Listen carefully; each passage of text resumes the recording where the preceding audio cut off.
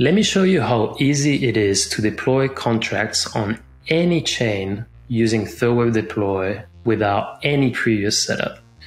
Here's my smart contract that I've been working on. It's a ERC721A variant that I'm customizing and I'm ready to deploy it.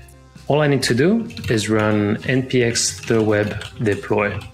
I don't need to do any previous setup installation. No need to export private keys. No need to write any scripts. No need to set up any RPC URLs. Everything is handled for me ask me which contract I want to deploy. I'm choosing this one.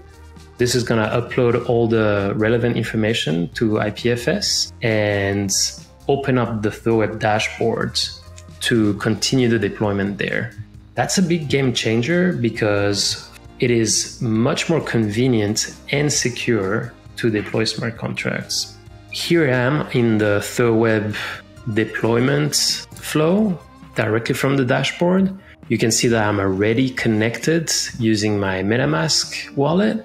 I can easily switch accounts, switch wallets, and even connect to my team wallet using Gnosis Safe, for example.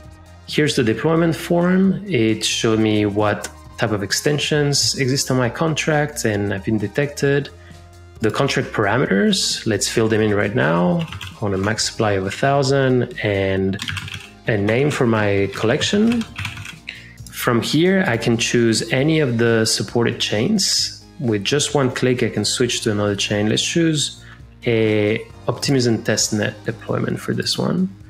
Just click deploy and accept on the transaction on MetaMask, and that's it. You're good to go.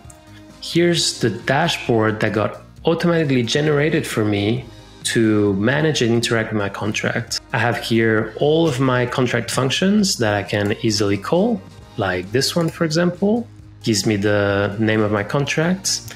And all of these functions I can also call from my application using the automatically generated SDKs. This works in JavaScript, in React, in Python, and in Go. So I'm ready to start integrating my contract in my application right away. On top of that, the dashboard detected that this contract is an NFT contract, so you can add more functionality like minting an NFT or listing all the minted NFTs straight from my contract. Let's mint an NFT right now. I'll just fill in the form and click mint, and here it is. On top of that, the dashboard also gives you a way to track the activity on your contracts by showing all the latest events that happen on it. Here's, for example, the minted event that I just did, along with all the information associated with it. This is a great way to track in real time what's happening in your contracts. All of that with just one simple command npx thirdweb deploy. That's it.